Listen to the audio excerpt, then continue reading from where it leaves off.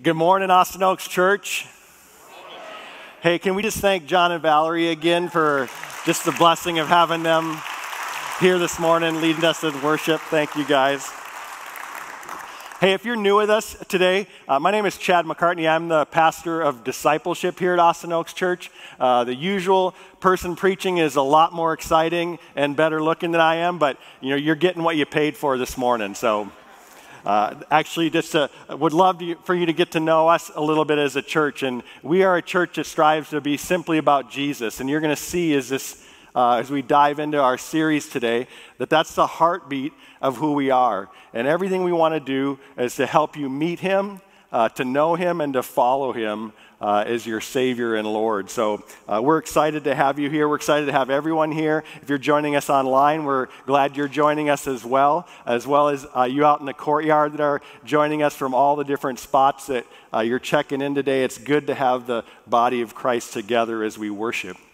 Uh, today, uh, we continue our series titled Be the Movement. The last couple weeks, Pastor Brandon kind of took a, a little bit of a sidebar uh, to kind of lean into some big picture vision and future things that we see uh, for our church as we fulfill our mission. Now we're back to our series t- titled Be the Movement. And the heart of this is really, uh, like we talk about, being simply about Jesus. And the Gospel of Luke is one of the letters that Luke wrote uh, to a Gentile. Luke was a Gentile as well, and wrote it to tell people about who this Jesus is and to help people outside the typical people of God, the Israelites, to understand him as well, that he's a, a savior for all people. And so this whole series is all about what does it mean to follow Jesus? What does that mean? What did it mean then? Uh, how do we understand those things? And what does it look like today to, to follow him as well? And I, I'm excited about where we're at in this journey. In fact, Luke chapter 6, where we're going to be today, is one of the richest and most pivotal chapters in the Gospel of Luke. Uh, prior to you know, the, the heading into Jerusalem and the death and resurrection of Jesus Christ, you're going to see Jesus kind of turns the corner here and lays down some things that are really key to understanding who he is and where he's leading his followers. You're going to see up to this point, Jesus has been on the scene for a little over a year, and he's been calling different people to follow him in a general way up until this point. And here in chapter 6, Jesus is going to select out, after a, a night of prayer up on the mountain, he's going to select out 12 of his disciples, if you read the beginning of the chapter, his apostles, those who would carry on his ministry after he leaves. And he's going to dive in and dig in to some really key principles about who he is and why he came in this chapter. Real pivotal. In fact, even how he does it communicates something that's incredibly powerful. And, and people of his time, and in, in particular Luke, as he was writing it, and the other gospel writers that write about this particular moment, realize this was a key pivotal moment uh, for Jesus and what he was doing with his disciples because it mirrors a similar event that would have been known to all of them in this time, and in particular the apostles of Jesus. It kind of mirrors uh, when God brought the people of Israel out of Egypt into the wilderness. He saves them. He saves them from Egypt. And then he sends Moses up onto the mountain to receive his law or his truth. And Moses comes down off the mountain and he starts telling the people not how to be saved. He says, This is how you live now that you're saved. This is what God's new community of people looks like. And Jesus is, in a sense, replicating this in this moment. He's been up on the mountain. Now he comes down. He's got all his disciples, his 12. He's got all these other people around him. And he begins, for the first time, an extended time of teaching with his disciples, calling them into saying, This is what my kingdom looks like. This is what my new community of people look like. And that's where we are in this journey. So I want you to see four things that Jesus is going to, to pull out. Literally, each of these sections could be a whole series. That's how rich this teaching is.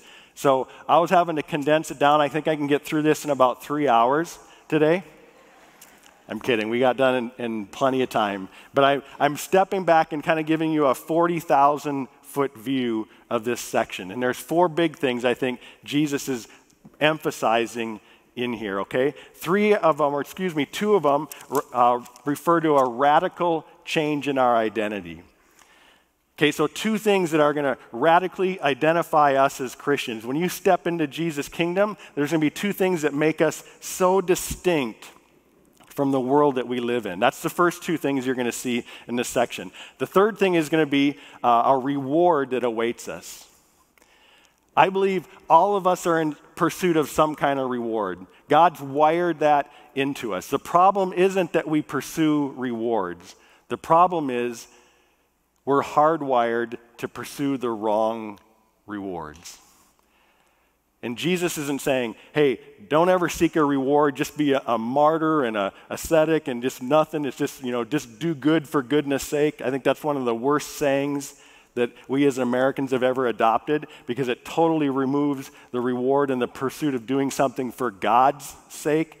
It just makes this moralistic claim that good is just good in and of itself and detaches it from anything.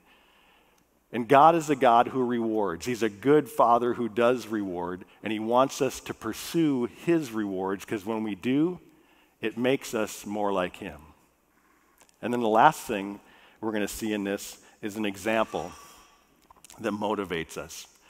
Two radical things that, that change our identity, two radical things that identify us as people who follow Jesus, a reward that awaits us, and an example that motivates us. So if you have your Bible with you, look at Luke chapter 6. We're going to start in verse 20, kind of giving you the preview of what's happened up to this point. And now Jesus is going to turn to his disciples and, and teach these principles that we often refer to as the Beatitudes. It says he lifted up his eyes on his disciples, his 12, plus a, a lot of people that were there with them, and he says to them, Blessed are you who are poor, for yours is the kingdom of God. Blessed are you who are hungry now, for you shall be satisfied. I call that the blessing of the dieter. Right? How many of you have ever been on a diet here before? Jesus says you're blessed when you're hungry. But if you just laughed at this, you're going to find out your curse because it's in a minute he's going to say, Woe to those who laugh. So you just lost that blessing. Sorry. Blessed are you who weep now, for you shall laugh. Blessed are you when people hate you and when they exclude you and revile you and spurn your name as evil on account of the Son of Man. Rejoice in that day and leap for joy. For behold, your reward is great in heaven. For so their fathers did to the prophets. One of the things I want you to see, and we're going to get into the second part of this, it's just kind of the opposites of it. But it's so important to see that these teachings of the Beatitudes are Jesus teaching us about perspective. I call it eternal perspective, of being able to see past the moment to what's real. This is temporal. It's only here for a moment. And he says, You're going to be poor here if you follow me. You're going to uh, weep at times. It's going to be difficult. You're going to be hungry at times. You're going to be persecuted. You're going to be mocked. But he says, But rejoice in that moment, in that temporal moment, because your reward in heaven is great. He's giving us a perspective. All these blessings, if you mourn here, you will be comforted. If you are poor here, you will inherit the uh, kingdom. Like you're going to have riches beyond anything you can believe, but you have to look past this moment to the future. And we do this all the time with everything we do, right? You put in a, a full work week, sometimes two weeks, sometimes a whole month before you ever get a paycheck. And you're not sitting there going, oh man, another, oh man, oh man. You know, hey, that paycheck's coming, so I'm working towards a future reward. And Jesus is just saying, You're right. There's, a, there's one, you just need to put it out a little bit further than that. Because I don't know about you, but I know a principle that's been true in my life. Every single paycheck that I've ever received, guess what? It's been spent. Jesus is saying there's a paycheck, so to speak, there's a reward you can work towards in pursuing me that will never go away. It'll never end. It's infinitely better in value, and it's intrinsically more lasting than anything you can ever pursue and receive in this world. So he's telling us that here. Then he's going to go on and pronounce it. He's going to flip these around and, and turn them into negative. And each of these parallels ones we just read. He says in verse 24, But woe to you who are rich for you have received your consolation. Notice he's talking about it right here. This, you already got your consolation. Woe to you who are full now, for you shall be hungry. Woe to you who laugh now, for you shall mourn and weep. That's kind of an arrogant, prideful laugh that just like, hey, I got everything figured out and I'm in a place of privilege and power and, and everything's great. The world's kind of at my fingertips, and he's saying it's going to be turned upside down. He says, Woe to you when all people speak well of you, for so their fathers did to the false prophets. Notice he doesn't say anything about a reward at the end of that section like he did at the beginning. That's our first radical change in our identity is this. Following Jesus requires radically new values. Following Jesus requires radically new values. That's what Jesus is getting at in this section. I like how Michael Wilcock, a commentator on the Gospel of Luke, says as he kind of summarizes this little section of Scripture. This is what he says, and I quote from him In the life of God's people will be seen, first of all, a remarkable reversal of values. They will prize what the world calls pitiable and be suspect of what the world thinks is desirable. That's what Jesus is saying in the Beatitudes, in these principles of life, and these blessings that he has. Not only is he saying, hey, I just want this for you, but he's saying, I, I, I give you a special blessing when you recognize that the values of my kingdom are infinitely different, totally different, and upside down from what you see in your world. And he's teaching us not just that these circumstances result in a blessing. Don't, don't oversimplify what Jesus says and saying, okay, so as long as you're poor, you're blessed. Is that what he's saying? He's absolutely not saying that. Because there are lots of poor people, earthly wise, that totally reject God. This is what he's teaching here. Obviously, there's a context of all of Scripture. Simply being poor does not automatically mean you're a follower of Jesus Christ and you're blessed any more than simply being rich is a condition that automatically brings that woe upon you. What Jesus is saying is that when our values pursue the things of this world that lead to riches, that lead to comfort here, that lead to satisfaction here, just in this temporal sense, then you have to recognize you have had your fill and your blessings here. Because following Jesus will impact your wealth. Following Jesus will impact your comfort. Following Jesus will impact your reputation with people who are not going to like the things that you pursue or the things that you believe or the things that you stand for. And so Jesus is saying, in a nutshell, in a simple, powerful, profound way, that if these values in your life that the world values wealth, comfort, satisfaction in this world, you know, being accepted or popularity or being, you know, well liked by this world. If those are important to you and are values to you to the point where you will not set those aside or hold them loosely in order to follow Jesus, if they interfere with you following Jesus and being able, uh, available to follow him and be like him and serve like him and love others like him, then woe to you. You've missed the, the blessing. You have your blessings now. You're going to get what this world offers, but this is all you're going to get. It's going to be the best you ever have. This is pretty profound and powerful and challenging stuff. It speaks right at the heart of all of us. He confronts our worldly values that we so easily embrace and come so naturally to us. But Jesus is saying there's something different that happens in the life of a person who's been transformed by the grace of God and now is on a journey following Jesus.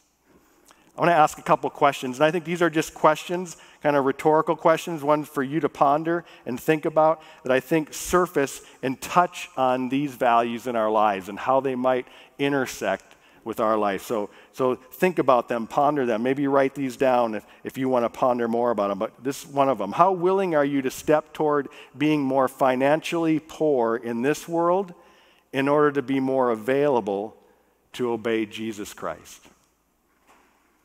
Ask yourself that. Would you be willing to make a decision that might leave you in less of a favorable spot financially if doing so would allow you to be more available to serve Jesus Christ and to serve others and to carry out his work? Does your current lifestyle require a workload that hinders your ability to serve others and to give generously? Because we often blame it on all these other things, but oftentimes, especially here in America, we have so much. We are the wealthiest nation in the world, and yet, as a people, as a nation, if you look at it, we still tend to live just a little bit beyond our means. Even though we have the most wealth we've ever had, we still, as in general, as people, live just a little bit beyond what we have. It's one of those things of realizing you will never have enough. You will never be satisfied if the world's satisfactions and the world's goods are your pursuit and your end. And Jesus is teaching us that in this passage. He's flipping it upside down to help us realize this world was not what you were originally created for in its brokenness. And it will mess you up if you pursue the rewards and the values of this world. So let me say that again. Does the lifestyle you think you deserve demand a workload and a busyness from you that prevents you from following Jesus and fulfilling the work that He's called you to in this world? Here's another one, if I haven't offended you yet. This one will, I'm sure. Is your need for approval and worldly acceptance driving you or your kids to be overcommitted to activities that make you feel more accepted or successful in this world? Or to push your kids or you as an individual or your kids to attending a college that you really can't afford, but you think it will somehow get them a better place in this world. And as a result, now it drives your lifestyle, now it drives what you're pushing for, and now you're less and less and less and less available to serve and follow Jesus. See, what Jesus is saying here is that when you embrace these values in the sense of following Him, then the choices you make are going to move you to more towards an idea that says, I'm willing to be poor in the world's eyes because I realize nothing in this world is going to last. You're going to see he's not saying he doesn't want us to be rewarded. He's not saying he doesn't want us to be rich. He wants you and I to have a, a riches and a reward that can't be so easily taken away, is what we experience here, which is why we continue to pursue more and more and more. We're never satisfied because all more and more wealth does, all more and more comfort does, is raise our anxiety levels and our need to maintain and keep and, and take care of that stuff more and more. And it doesn't produce, nor does it offer the promise that it makes to you over and over again. I can honestly say, in the 20 years I've now been in ministry, I have rarely, not saying never, I have rarely seen the accumulation of wealth in a person's life improve their willingness and ability to serve Jesus Christ. More times than not, the comforts and the riches of this world gradually make people less and less and less available. And in case you're doing what maybe I'm prone to do, thinking, well, I'm glad I'm not rich like this guy or girl that I'm sitting next to, the reality is, if you live in this country and you are a family of four and you have a household income of $60,000, just a household income of $60,000, you're in the top 10% wealthiest in the world. So sorry, very few of us escape that. We'll make sure we have a phone. We'll make sure we have internet, that we have cable, that we have all kinds of things that will have zero impact. And I'm not saying there's anything wrong with any of those things, but when those things are a greater priority than the kingdom of God, it should sadden our hearts that we would pursue something of so little value in so short a time of pleasure than what Jesus offers to us. That's the first radical thing. That was the easier one, I'm sorry. The second thing that radically identifies as Christians, we're going to see as he continues. And these build on each other. You will never be the second person. This is just an outworking of a person who's adopted that first set of values. When Jesus gets into this, don't miss the connection. He says in verse 27 But I say to you who hear, love your enemies, do good to those who hate you. Bless those who curse you. Pray for those who abuse you. To one who strikes you on the cheek, offer the other also. And from the one who takes away your cloak, do without your tunic either. Don't hold on your tunic either. Give to everyone who begs from you, and from the one who takes away your goods, do not demand them back. As you wish others would do to you, do also to them. Second thing we see, the second thing that radically changes us or identifies us, is that following Jesus requires a radical new way to treat our enemies. Following Jesus requires a radical new way of treating our enemies. You know, the world preaches this whole thing called tolerance, at least its version of tolerance. The funny thing about tolerance is, is even the people who say they're the most tolerant, saying we're tolerant of everyone's views and everyone should be able to do whatever they want. The only people they're not tolerant of is people who aren't tolerant of that particular view. You ever notice that?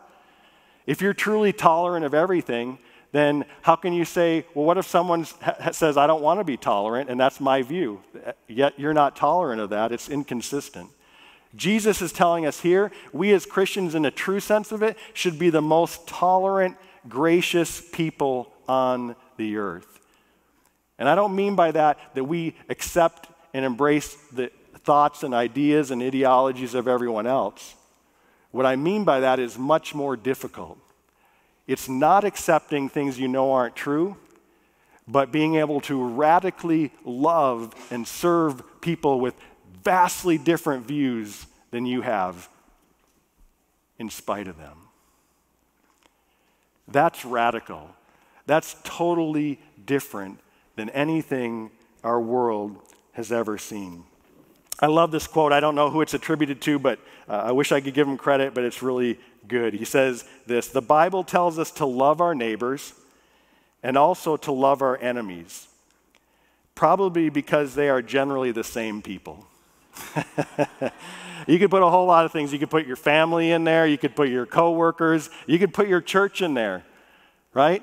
Like before I was a Christian, I didn't have a whole lot of enemies. Right? I, I, most of the people I, I, was friends with, I became a Christian, and suddenly I had a few more enemies. You want to know how you can get a whole lot of enemies? Go into ministry. Like, since I've been in ministry, I've had more people like hate my guts than any other thing I've done. I, I, probably wouldn't have got into ministry, honestly, at the maturity I was at, if I knew how hard that would be at times. How painful some of the remarks of people extremely close to you in proximity could be, and how often you have to turn and continue to love in spite of it. Times I've had to wait three, four, sometimes five days or a week to respond to an email that was so cruel that I would expect from someone outside, but never from someone inside. Before I was in a place where I could even respond without responding with what first came through my mind in that moment.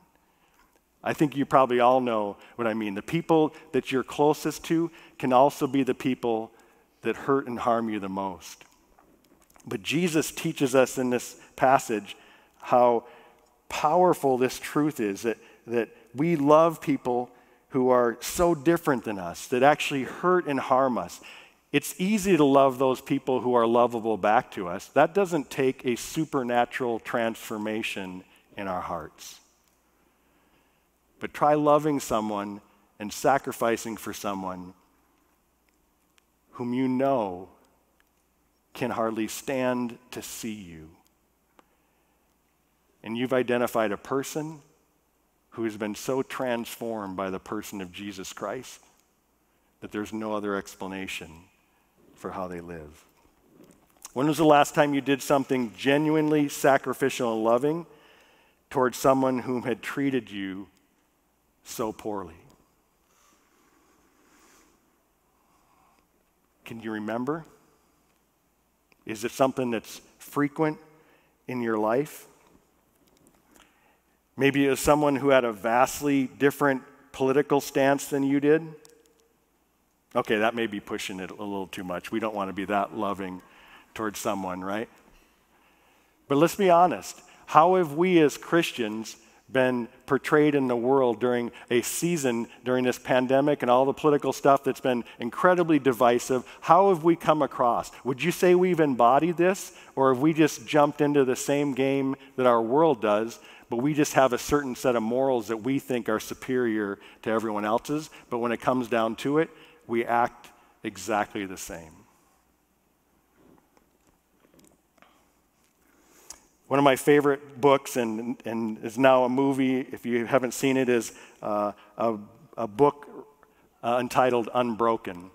It's a story of uh, Louis Zamperini, uh, an ex Olympian who then was drafted into World War II, was a bombardier, and in the midst of a, a mission he was flying on, his plane was shot down in the Pacific, and him and his, the two other people in the plane with him were afloat for several weeks uh, waiting to be rescued. One of them actually died. It was such a long time they were out there, and they barely survived, but they were scooped up uh, by a Japanese ship. They were taken and put into a prisoner of war camp uh, for the remainder of the war, and he was horribly and brutally tortured that whole time. In fact, once they found out he was an Olympian and kind of an American hero, he was tortured even more as a result of it. Eventually, the war ended and the prisoners of war were released. He came back to the States. He got married, uh, but he had such horrible nightmares over and over of the torture. And some of them where he was so angry, so frustrated over the injustice that he'd experienced, that some of those nightmares would be him being tortured, and then it would be him actually strangling and taking the life of those guards that took him because he was so angry about what had happened to him. So much so that it, it led him into a life of drugs and alcoholism. It pretty much was destroying his marriage. And right at the brink of that blowing up, he attended a Billy Graham crusade. And he met Jesus. And he understood the love and grace of Jesus. And it totally changed his life. And once Louis understood forgiveness, once he understood a God that could forgive him for everything that he had done, he realized he needed to forgive those who had harmed him. And he made several trips to Japan and tracked down some of the guards who were still living and personally offered them forgiveness resulting in some of them actually coming to know Jesus Christ as their Savior as well. Such a powerful example of what this passage speaks to us. You know, we live in a day of cancel culture and toxic people, and we have all kinds of guidelines that allow us to just move people outside of our circles and push them away. And I don't need to listen to that. I don't need to be around that. You know, I just deserve to have this nice little, comfy little circle. And, and that's, that makes a lot of sense if your values are the world's values.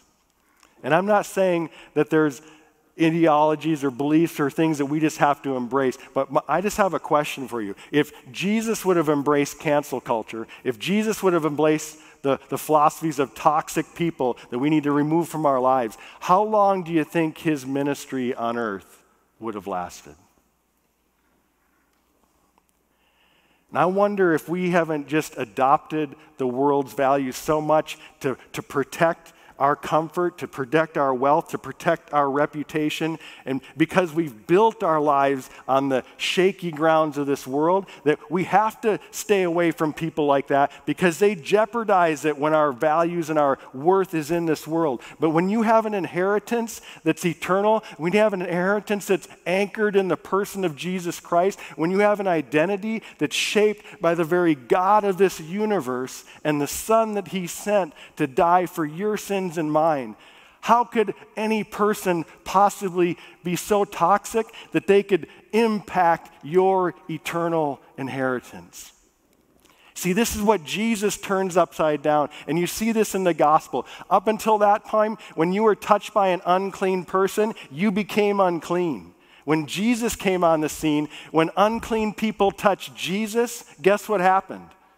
They became clean. He turned this upside down. And He has sent you and I out into a world that is incredibly dirty and messy and ugly with a radical new set of values, a radical new identity, to lean in to the ugliness and difficulty of this world. And when you do this, when you choose to love people that are so far outside your circles, guess what? Your wealth is going to be jeopardized. Your laughter may just decrease a little bit because you're going to step into the lives of some people that are pretty messy, and you're going to get hurt in the midst of that. And that's okay because your reward is not here on this earth. In fact, Jesus is telling us rejoice. Rejoice. Take your eyes off of what you think you're losing right now and look at what's awaiting you by the grace that I've shown you. A radical new set of values. Why would we possibly do this? Why would we possibly be willing to risk and lose so much, Chad? I'm so glad you asked that question.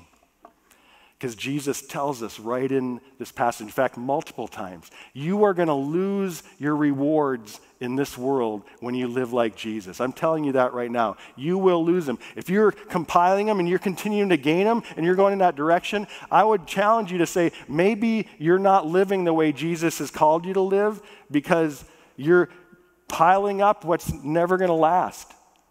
But when you do, guaranteed you're going to be challenged with your economic status. You're going to be challenged with how much satisfaction you're constantly pursuing in this world. You're going to be challenged with all the temporary love and joy and, and happiness you might have here so that you can find a deeper joy and you can lead others into that deeper joy. And you're going to be challenged by how well you're liked by all the things of this world. But I'm telling you, it is infinitely worth it because Jesus tells us it is. Look at what he says. Following Jesus in this section, you're going to see what it results in. Verse 32 to 35 is one little section, but you're going to see this woven through this whole passage. He says, If you love those who love you, what benefit is that to you? How would you answer that? What's it saying? None, right? When you get questions in the Bible, answer them. They're kind of obvious, but when you say it out loud, it kind of strikes you with the truth. If you love those who love you, what benefit is that to you? Meaning, what profit is it to you? It's none. For even sinners love those who love them. And if you do good to those who do good to you, what benefit is that to you? For even sinners do the same. And if you lend to those to from whom you expect to receive, what credit is that to you? Even sinners lend to sinners to get back the same amount. But, he says, this is what's different about us love your enemies, do good, and lend, expecting nothing in return, and your reward will be great, and you will be sons of the Most High. Jesus says that following him is, is resulting in a great reward. When you follow Jesus, you're going to get a, a, reward that far exceeds anything you could possibly get in this world. But it's going to cost you to, in a sense, make an exchange. You're going to have to exchange what you can never keep, as one person said, for something that you can never lose. You're going to have to exchange something that is going to destroy and, and be gone and can never fully satisfy in this world so you can receive something that will never leave you wanting for anything. You see, Jesus doesn't want us just to be these ascetic martyrs. Woe is me, I don't have anything, I'm just sacrificing all this stuff for God. That's a warped sense of Christianity that makes God not all that satisfying and not all that lovingly rewarding. No, Jesus wants you to be richer than anyone you've ever seen in this world, even Elon Musk right? He moved here. You think he's rich, man. People are following him. He's going to be the poorest guy in eternity. All of you, if you will follow Jesus, will be infinitely richer than him when you pursue those rewards. Because here's, listen, listen to what Jesus said. You remember this passage? We've all heard this. He says, Don't store up your treasures here on earth where moth and rust destroy and where thieves break in and steal. He says, don't do that. But Jesus didn't stop there and just say, I just want you to be poor. I want you to, to, life to just stink for you. I want you to not have anything. I just want you to be a woe is me. That's not what he finishes that verse with. He goes on to say, but store up treasures for yourself in heaven. Why? Because moth and rust can't destroy those treasures, and thieves can't break in and steal them.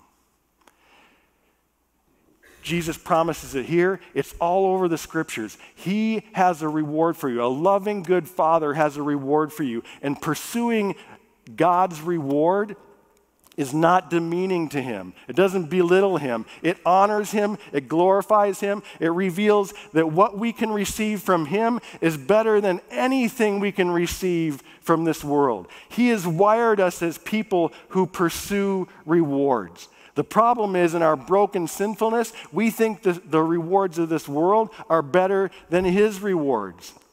And that's what dishonors Him. You want rewards?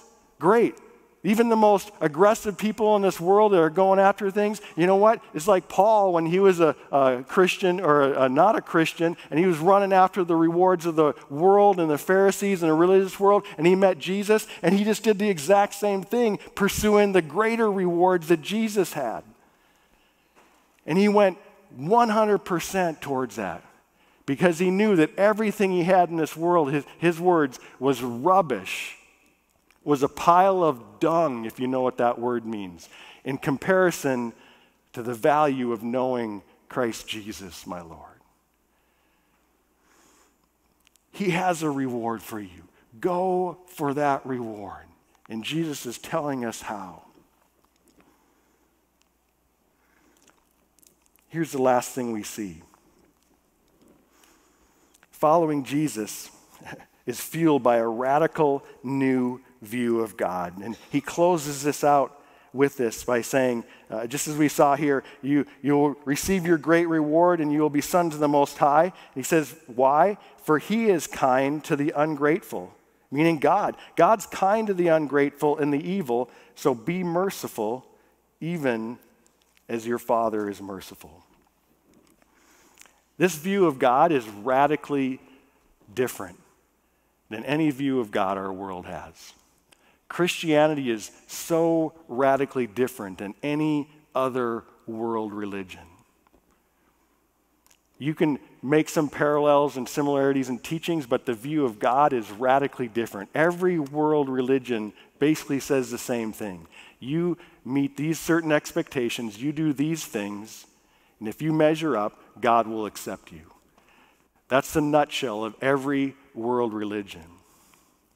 The gospel flips that around.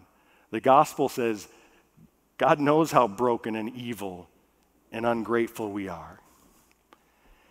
And in the midst of our sinfulness, the love of God shows up, and Christ Jesus takes your place and mine. And he shows kindness to the ungrateful and the evil. That's you and me. See, God doesn't just give us these principles and say, You guys figure this out. I'm up here in the glories of heaven. It's awesome up here. Man, it would be great if you guys could get up here, but you got to measure up to these principles. It's not what He does. God's not just an example, He became a substitute for you and for me. He sent down Jesus to embody every single one of these values so that when you see him, when you meet him, when you understand what he does, it, you don't embrace these values so that you can meet Jesus. You embrace them because you have met him, because you've come to realize, oh my goodness, this evil, this brokenness, this person that pursues all these things in this world, that's me. I don't deserve to be with God. I don't deserve the blessings that he gives, but he offers them to me even in my brokenness, in my wickedness, in my unkindness through Jesus. And, church, when you meet him, when you understand who Jesus is and what he has done for you, then these values just start leaking out of you. It's not you performing for God. It's you leaning into this grace and this gift and recognizing for the first time, I'm offered something so much better. Like, like I used this picture in the earlier service. I, I, asked about like a great steak restaurant. Someone said like three forks or four forks or I don't know, nine forks, whatever it is. You can do a million forks if it's got. But, but this, is the, this is a picture of the Christian life. God's offering this incredible steak unbelievable. If you're, uh, if you just pretend you're a meat eater, I know we're in Austin. There's only a handful of uh, meat eaters or whatever, but just pretend you like meat, okay? You're on the keto diet, right? You're hungry, you're blessed, right? So, and then, and then I have over here, I have a, a, a wonderful, hot, right off the press, you know, McDonald's cheeseburger for you, right? And I'm tempting you with it. Hey, you can have this cheeseburger or you can have that steak. Come on, come on. Look at the cheeseburger. Look at that. Look at that mustard kind of dripping off the side. Like, that's not even a temptation, right? You're going to go after and say, absolutely, I want this. I'm going to say, well, I can give you the cheeseburger now, but if you want the steak, you're going to have to wait till the end of the service. You say, that's not a big deal. It's so much better. Why would I not wait? You see, the reason and what's so important about understanding that God is the greatest reward, and there is rewards He, he gives, you're going to see them. That the moment you sit in His presence, nothing that you pursued in this world is going to seem important at all. And until you grasp that, you will always have this arrogant, prideful mindset that you are sacrificing for God and that God somehow owes you something.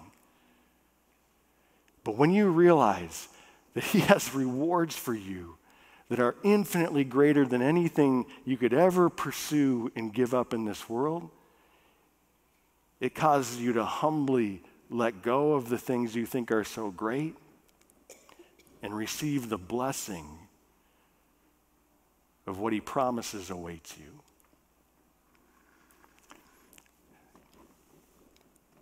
Jesus was the richest man to ever walk the earth. If he was here right now, Elon Musk would be a pauper in comparison to the wealth that Jesus had. Think about this. We don't think about this. Jesus owned everything in the universe.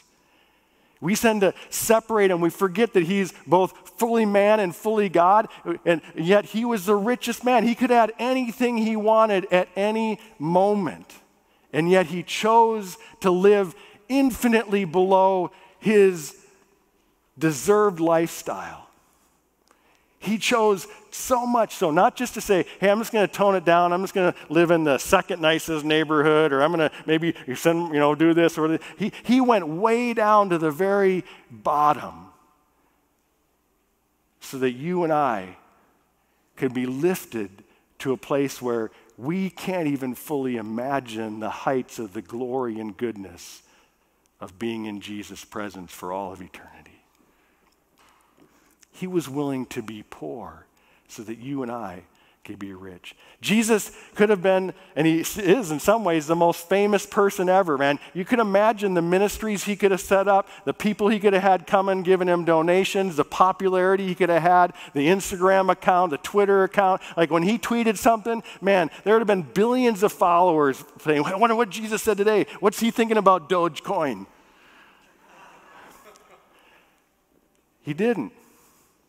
Jesus was willing to be mocked, to be reviled, for you and for me.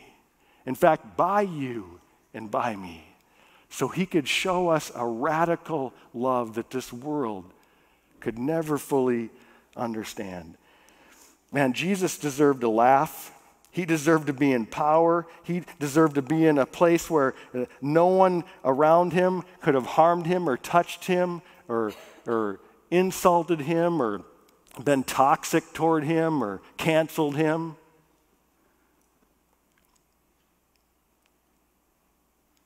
Instead, he was mocked, he was beaten, he was humiliated for your sins and for mine. Man, he deserved a feast. He deserved to be satisfied with everything this world could offer. But he resisted the pleasures of this world. And, and here's why Jesus wasn't a victim. He resisted them because Jesus knew that the reward that awaited him was so much greater than anything he could lose in this world that I don't even know that it was hardly a temptation. The Bible says he was tempted in every way, but without sin. I think this is Jesus' secret. Like Jesus had been with the Father for all of eternity past. He knew how awesome heaven was. And so nothing in this world was going to lure him away from that place again for himself. And nothing in this world was going to lure him away from loving you so much and saying, Come with me. I can't wait for you to see the pleasures that reside in my Father's presence and in his right hand. We don't think about this, but, but Jesus, do you ever think that as a man, maybe he wanted to have a family? Do you ever think he wanted to have an intimate relationship like most of us just think we have a right to in this world? That he wanted to have kids and see them grow up. And we just put him into this spiritual, ghost like guru position and remove all the human desires that resided in him just like they do in us so that we can dismiss what he went through and excuse what we often do. But Jesus had every single one of those desires. But he knew the loss of them would pale in comparison to the wedding day he's awaiting,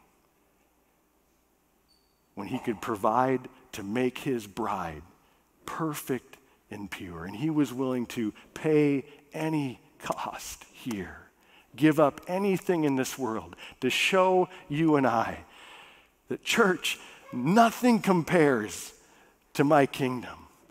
And I can't wait for you to be there with me. I just want you to live like this in this moment so that you can experience everything I have for you for all of eternity. And I, I just, I promise you this. I don't know how. I don't explain it. I don't, I can't see it. I haven't experienced it. I just believe it because Jesus said it that that moment we're going to have this wedding banquet when we as this church are there in jesus presence at the beginning of that kingdom. And it says there's going to be lavish food and there's going to be everything you can imagine. I promise you the moment you take that first bite in that banquet at that wedding feast you will forget everything that you gave up in this world to follow him wholeheartedly. In fact there's the Bible right there. Here's Chad over here. Sometimes I just have to share my opinion as opposed to saying something that's right out of here, right? So this may be right, it may not be right. I believe there may even be a moment uh, wherever it happens in that transition to eternity where we'll experience some regrets.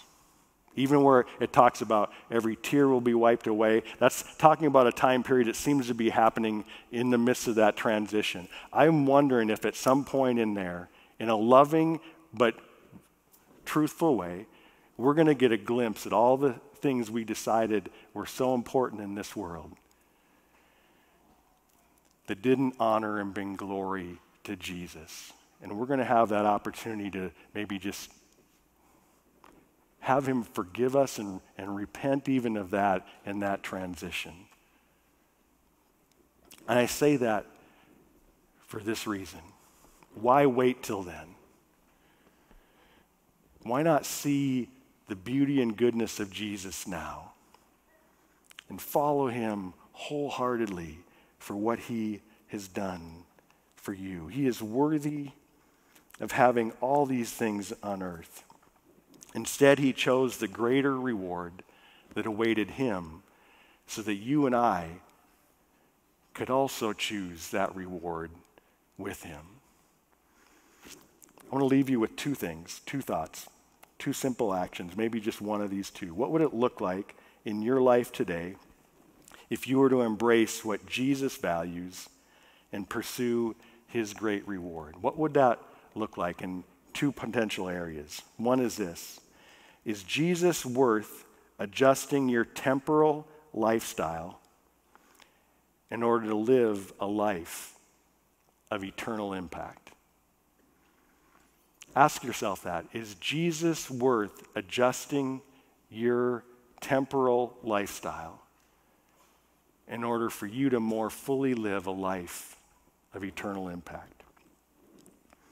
Secondly, kind of goes along with that. Is there an enemy in your life that God brought to mind today that He's calling you to radically love as Jesus loves you? Those two things will often go together. Let's pray. Father, so thankful for these truths, as hard as they are, and as much as they open up my heart and expose my fallenness, my brokenness, my shallowness. Um, Lord, I've never read any other book, I've never seen any other truths that speak so truthfully, who capture reality so clearly, and who expose us to ourselves, to our own brokenness, our own shortcomings. So, Lord, let these truths um, shape each of us. Help us to see in them the beauty of Jesus. That he wasn't just a, a neat spiritual leader that lived here and taught some really profound truths. He embodied a lifestyle that's so foreign to any of us. In fact, if we were back there in his days, I think the truth be told, we'd be just as offended by much of what he said we'd be just as challenged to follow him the way he calls us to follow him because he's worthy of everything we have, even our very lives. So, Lord, help us to be a church that's not trying to build our kingdom here in this temporal world because it's all going to burn up. It's all going to rust. It's all going to be eaten by moths and it's all going to be stolen by the great thief who just wants to destroy and ruin our lives, but continues to tempt us with these temporary blessings. Lord, help us to see the richness of glory with you, of relationships that are perfectly fulfilling, that never let us down, that are rich beyond anything we could imagine. So we don't need the approval of people in this world, we can freely love them regardless of how they respond. Lord, show us the riches of your kingdom so that any monopoly like riches we might have here, we will easily trade in for something that can never be taken away. Only you can do that, Jesus. But you have done it time and time again. May it be true in us, may it be true in our church, and may Austin catch a glimpse of what lives look like when they're radically transformed by the beauty and glory of Jesus Christ. It's in His name we pray. Amen.